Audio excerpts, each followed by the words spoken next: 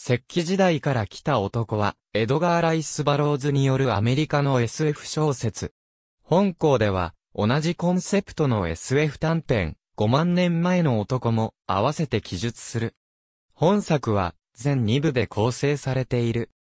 第1部は、新第3期のヌーのタイトルで、オールストーリーウィークリー2914年に掲載され、第2部は、原始時代の恋人のタイトルで、オールストーリーキャバリアー2915年に掲載された。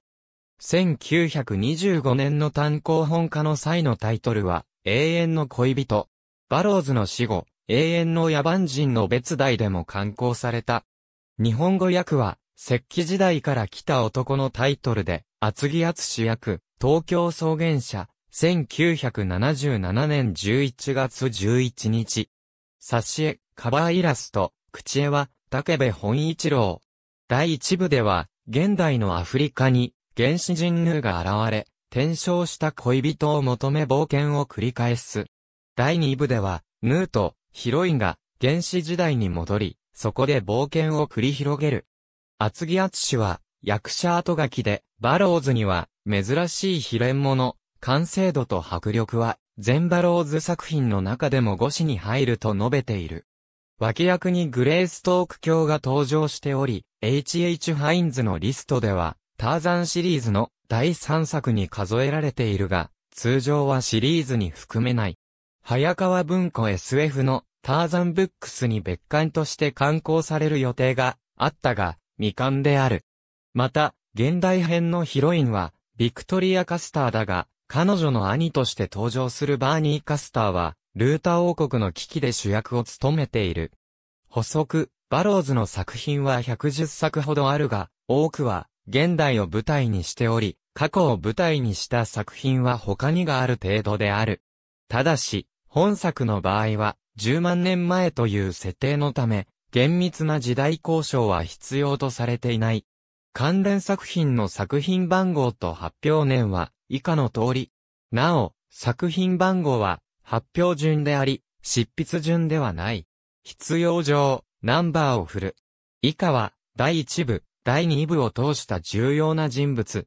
以下は、主に第1部に登場する人物、動物。以下は、主に第2部に登場する人物、生物。脇役として、以下の作品の人物が登場する。ターザンに関しては引退したような状態となっており、現役のエンジンではなくなっている。ヌーの球根は、ウーの首を、花嫁の住まいに置くというものだが、類似のケースは、ペルシダーシリーズにも見られる。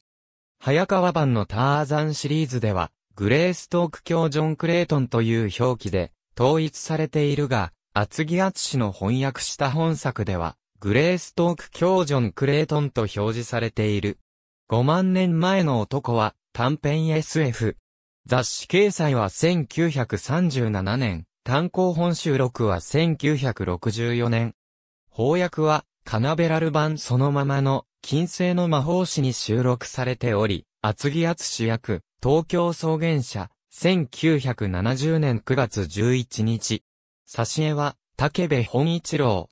110作ほどあるバローズの作品のうち、唯一の独立した短編。石器時代から来た男と同じく、蘇った原始人が、かつての恋人を追い求める話であるが、報われない話となっている。リチャード・エール・ポーフは、商品に過ぎないと評した。また、バローズ作品では、女性上位社会への継承がなされている場合があるが、本作でも、男女が、同等の行為を行うことに、ジンバー・ジョーが、否定的な態度を示している。ありがとうございます。